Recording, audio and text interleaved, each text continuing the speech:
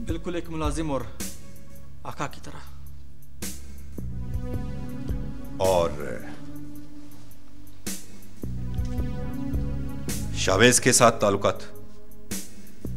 बेजरर। लेकिन मुख्तसर दौरानी एक, एक अच्छा दोस्त था मेरा। तुम्हें खून के बदले में दी हुई अपनी बहन के रिश्ते पर कोई एतराज़ था? मुझे रिश्ते पर नहीं रिवायत पर एतराज़ था। है और रहेगा। और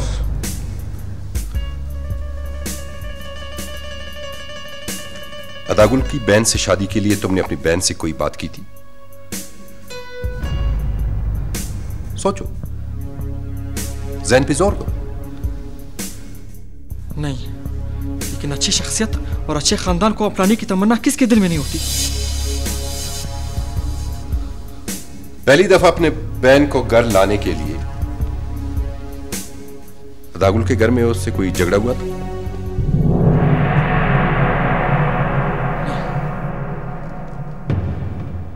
झूठ बोलते हो तुम। इस वाकिये के बाद धमकिया में इस अंदाज में अदागुल को ललकारते हुए उसके घर से निकले थे तुम। मैं जरा उसके साथ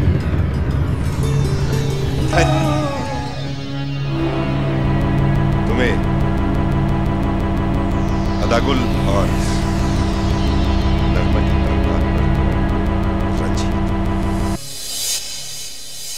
आखिर को अदागुल तुम्हारा बहनोई तो है। अदागुल का ताल्लुक सिर्फ़ और सिर्फ़ मेरी बहन से था। और मुझे कुछ मालूम नहीं। देखिए अजहर खान हमारी हालात को सूंघने और हकीकत को महसूस करने के सौरों से कहीं ज़्यादा है।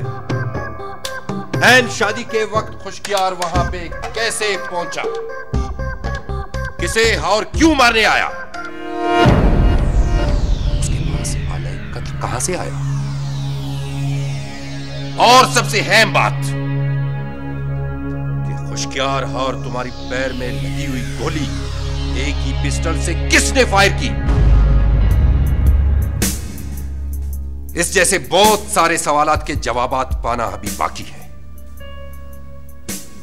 तो गोया आप अपनी तफ्तीश की तोप का सारा रुख मेरी जानिब ही रखना चाहते हैं। सिर्फ़ तुम्हारी तरफ़ नहीं बल्कि उन सब लोगों की तरफ़ जो शादी के दिन वकू के वक्त वहाँ पर मौजूद थे। अगर आप अपने अंदाजों की बुनियाद पर सिर्फ़ मुझे इल्ज़ाम देते जाएँगे तो याद रखिए तहसीलदार साहब अगर एक तरफ़ आप ऑफिसर हैं तो दूसरी तरफ़ इस कबायली सेटअप का हिस्सा भी। इस तरह ना हो कि आपको मेरी इस बेजती के बदले मेरे कबीले के लोगों के सामने जवाब देना होना पड़े। फ़िलहाल तो लिबार्ट्री की रिपोर्ट आई है। जब मैं हर पहलू से सबूत और शहादतों के साथ असल मुलजिम के गिरबान पर हाथ डालूँगा तो किसी भी कबीले का कितना बड़ा खान ही क्यों ना मेरा हाथ और मेरा रास्ता नहीं रोक सकता। जवाब तो दूर की बात है। फ़िलहाल तुम जा सकते हो।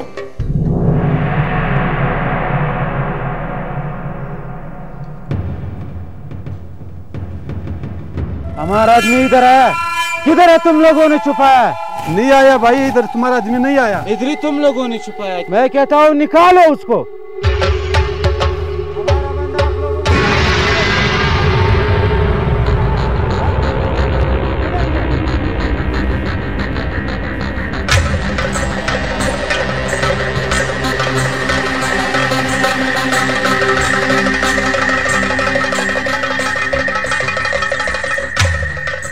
जिसे दुश्मन का नाम दिया जाता है उसके सामने खिलौनों के साथ नहीं, माल और असबाब के साथ जाया जाता है।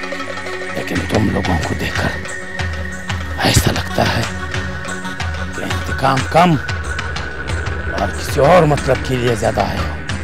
यहाँ मेरे आदमियों और मेरे इस पाड़ों में क्या कर रहे हो तुम लोग?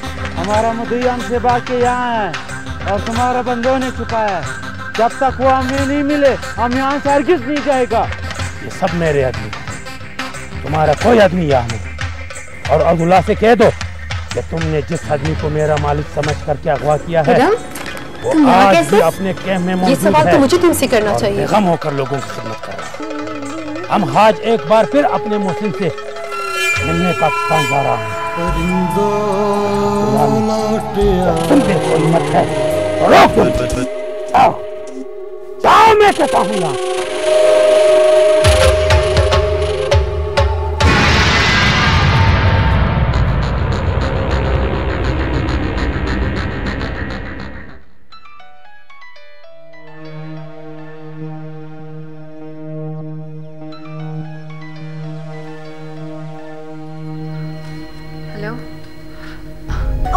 वाली बात भूल भी जाओ। देखिए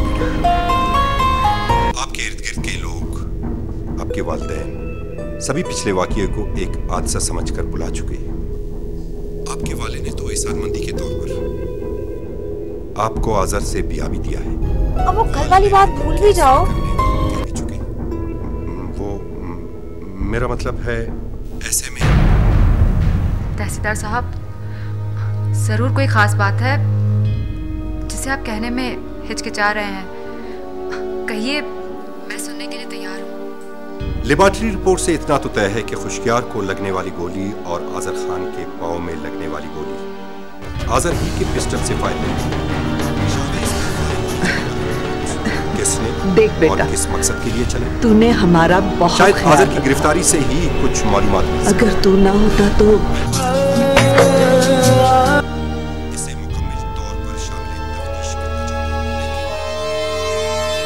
क्या?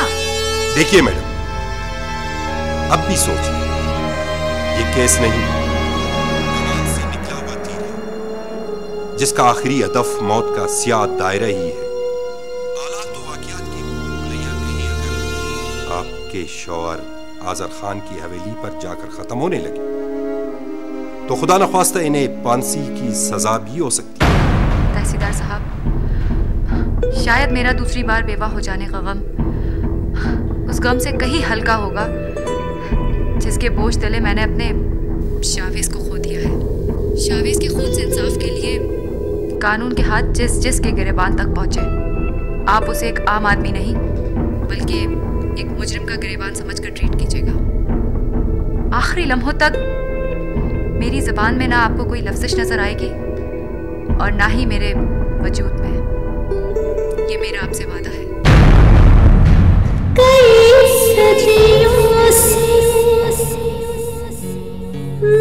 मेरे लफ्ज हैं।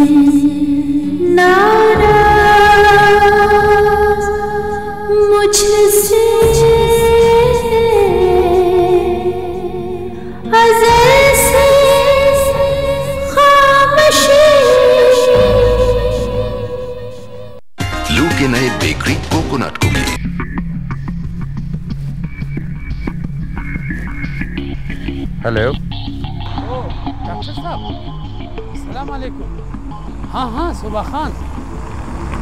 जिन लोगों का याद दिलों में ताज़ा होता है आखिर इनसे मुलाकात हो ही जाता है। देखो अभी अभी तुमको याद किया था। मेरा छोटा भाई खुशहाल कैंप से अगवा होकर बॉर्डर के उस पार ले जाएगा। क्या? देखो सुबह खान मुझे मालूम है। तुम अफगान रशिया वार में जंगजू गाजी रहे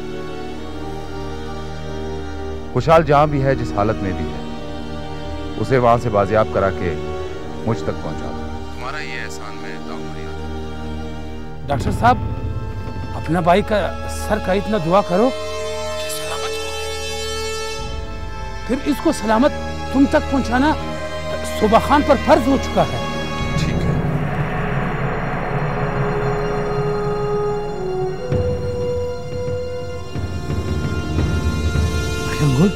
शंगुल जी लाला ये कौन सा जगह है ये फारान कुंडी का मोड़ है लाला अच्छा तुम शमाल खान को फोन करो बोलो यहाँ पहुंचाओ ठीक है लाला और तुम लोग जाओ संगर कैंप ठीक है लाला तो खुदा पामा मुर्जा अल्लाह दी मर्ज नगमा खुदा हाफिज अपना ख्याल रखना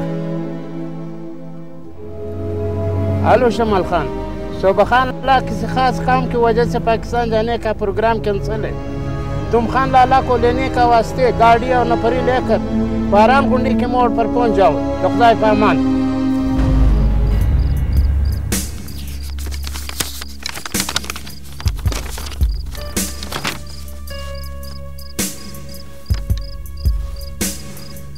तहसीलदार साहब ये ये क्या है? खुशकियार शावेज मर्डर केस में आजर खान के वारंट गिरफ्तारी। लेकिन तहसीलदार साहब वो केस तो हाँ। लेकिन अदालत की इजाज़त के बाद मुदई शनाख्त छुपाने की सहूलत पाकर पर्चा दर्ज करा चुका है। बाबा एक अनदेखे मुद्दई की दरख्वास्त पर जिल्लत की जो कालक हमारे चेहरे पर मल दी गई है उसका धोना इतना ही ज़रूरी हो गया है जितना कि आपकी जात इस हवेली और गाँव के तमाम अफराद के लिए। चले तहसीलदार साहब मैं आपका ज़्यादा वक्त नहीं लूँगा लगाओ इसे अतकड़ी अतकड़ी दो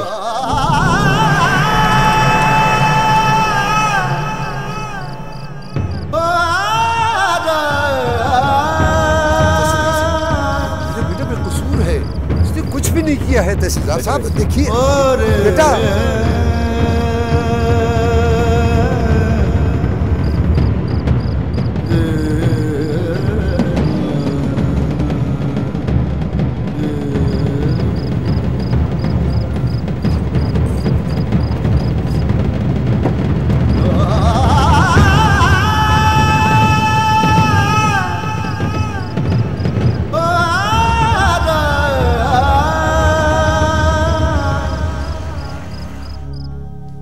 कमिश्नर साहब, कानून की गिरफ्त बजाहिर आप कितनी भी मज़बूत कर लें, लेकिन मैं अपने आजर के साथ किसी को ना इंसाफी करने की इजाज़त नहीं दूँगा।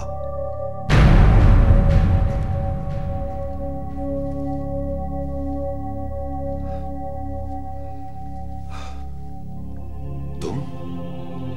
बेटी, तुम कुछ नहीं बोलोगी? बाबा एक अनदेखे दुश्मन का वार इंसान को ज़िंदगी की सारी आसाइशों से दूर कर देता है। शावेज भी तो था।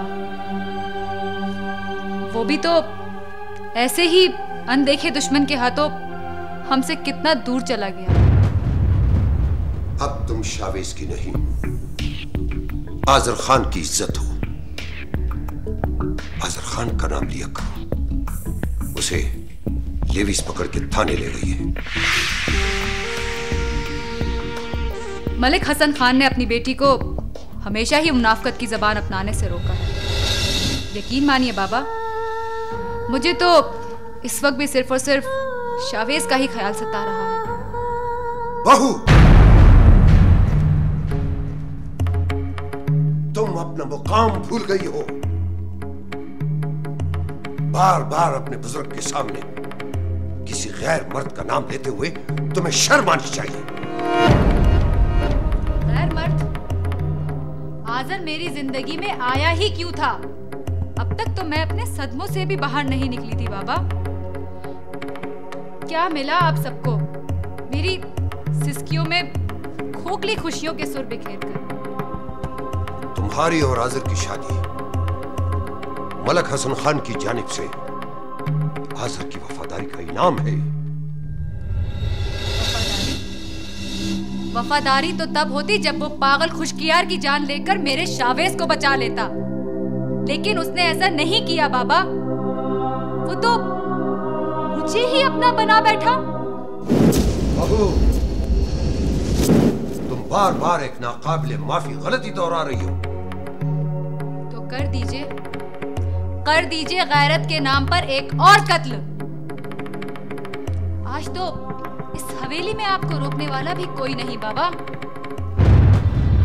हमारे सीने पर पड़े हुए गमों के बोझ को हल्का करने की बजाय तुम तुम हमें ही जालिम करार दे रही हो।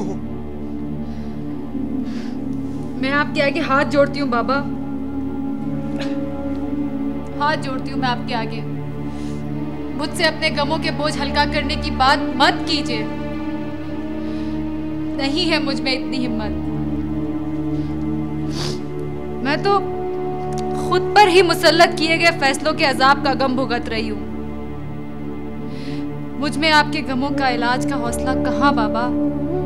नहीं है मुझमें इतना हौसला। नहीं है मुझमें हौसला बाबा, नहीं है।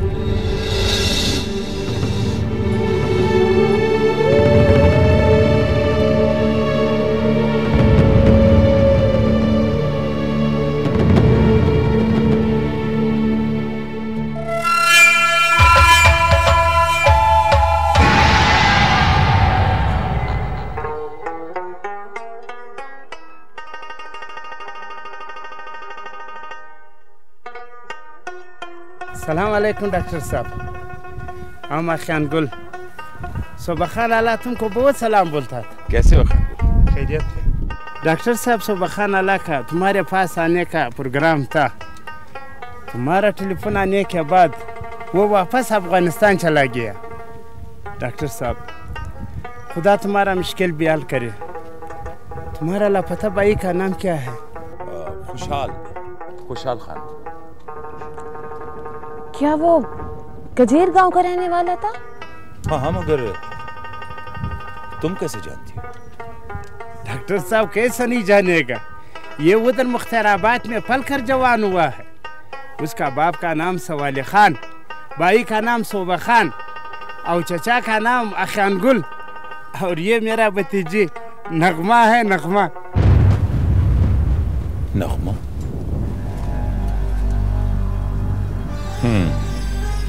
तो तुम हो नगमा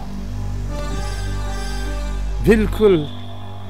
डॉक्टर साहब आप नगमे को जानते हो? नहीं। आ, हाँ। नगमा को भला कौन नहीं जानता। अदागुल आ, मेरा मतलब है मेरी भाभी की बचपन की सहेली है। भाभी अक्सर ज़िक्र करती है। बड़ी तारीफ़ करती है इनकी बात। डॉक्टर साहब खुदा तुम्हारे भाभी को खैर देवे नगमा वैसे तारीफ के काबिल तो है अच्छा खैन गुल आराम करो फिर मिलते हैं अच्छा खुदा हाफिज खुदा हाफिज